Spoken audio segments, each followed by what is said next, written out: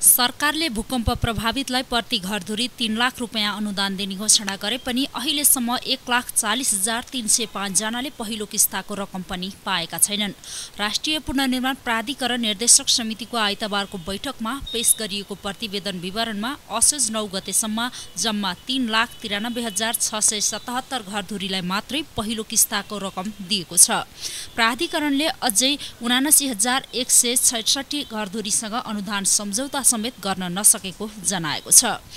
यो प्राधिकरणको समग्र कार्यको अहिलेसम्मको वस्तुस्थिति त्यस्तै गरेर यसको सङ्गठन संरचना बजेट तथा कार्यक्रम चाहिँ लगायतका विषयहरूमा चाहिँ हामीले चाहिँ आज चाहिँ प्रस्तुत गऱ्यौँ भूकम्प पीडितका लागि अन्तर्राष्ट्रिय समुदायबाट करिब चार खर्ब रुपियाँको प्रतिबद्धता व्यक्त भएको भए पनि हालसम्म करिब दुई खर्ब बहत्तर अर्ब रुपियाँको मात्रै सम्झौता भएको प्राधिकरणले जनाएको छ।